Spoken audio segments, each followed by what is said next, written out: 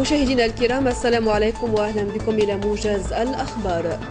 قامت اليوم جموع غاضبة من شباب مدينة الحامة من ولاية جابس بغلق كل المنافذ المؤدية إلى المنطقة وإشعال العجلات المطاطية احتجاجا على ما اعتبروه رفضا غير مبرر من قبل وزارة الصحة العمومية لبعث القطب الصحي العالمي لمعالجة الأمراض السرطانية بالجهة.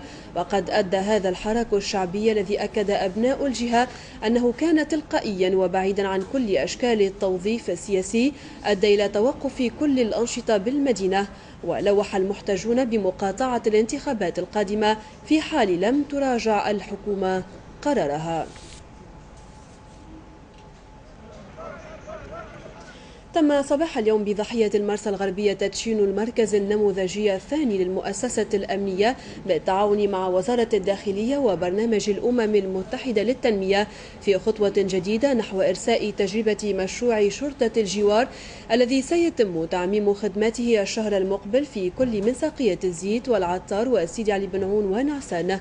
وتتكفل كل من اليابان والنرويج وبلجيكا ماليا وفنيا على تنفيذه وسيسهم هذا المشروع الجديد حسب مؤسسيه في استعادة المؤسسة الأمنية لثقة المواطن والمجتمع المدني وتقريب الخدمات ذات الجودة العالية نحو المواطنين.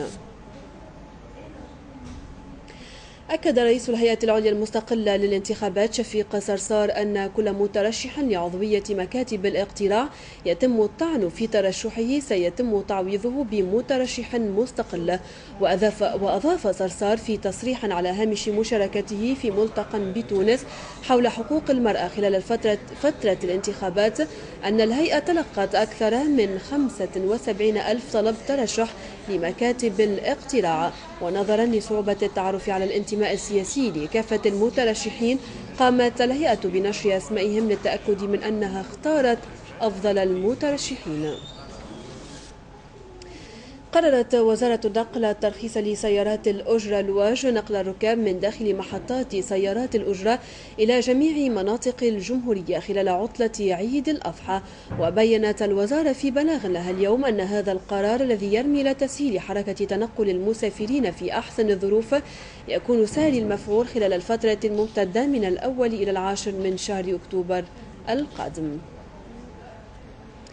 في أخبارنا الدولية شنت مقاتلات التحالف الدولي بقيادة الولايات المتحدة الأمريكية اليوم غارات جديدة على منشآت يتخذها تنظيم داعش مقرات له في محافظتي حلب والرقة السوريتين.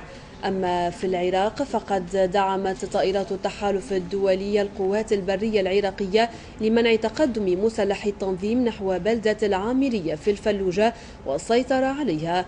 كما قصفت طائرات أمريكية نقاط تفتيش ومقرات للتنظيم جنوب كركوك ما أدى إلى مقتل سبعة أشخاص. انطلقت في اسطنبول تركيا أعمال المنتدى الاقتصادي العالمي بحضور نحو 600 شخص يمثلون 70 بلدا من أوروبا والعالم العربي وآسيا الوسطى.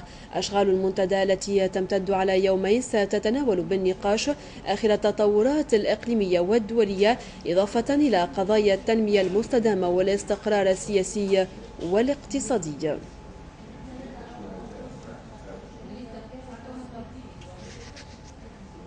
في أفغانستان أدى أشرف غني أحمد زايا اليمين كأول رئيس منتخب تعرفه البلاد منذ عشر سنوات. وسيرأس عبد الغني حكومة اقتسام السلطة في الوقت الذي يمثل فيه انسحاب معظم القوات الأجنبية من البلاد اختبارا حاسما لمستقبلها في ظل اشتداد القتال ضد متشددي حركة طالبان بعد فترة انتقال ديمقراطي صعبة. وقبل دقائق من أداء عبد الغني اليمين هجم انتحاري نقطة تفتيش أمنية قرب المطار ما أدى إلى سقوط عدد من القتلى.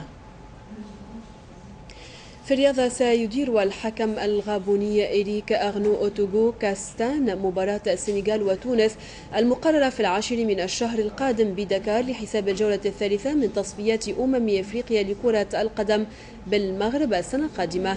ويعقد جورج ليكينس مدرب المنتخب التونسي لكرة القدم يوم الخميس القادم ندوة صحفية للإعلان عن قائمة اللاعبين الذين سيعول يعول عليهم في مواجهة السنغال ذهابا وإيابا. ختام الموجز شكرا على المتابعة وإلى اللقاء.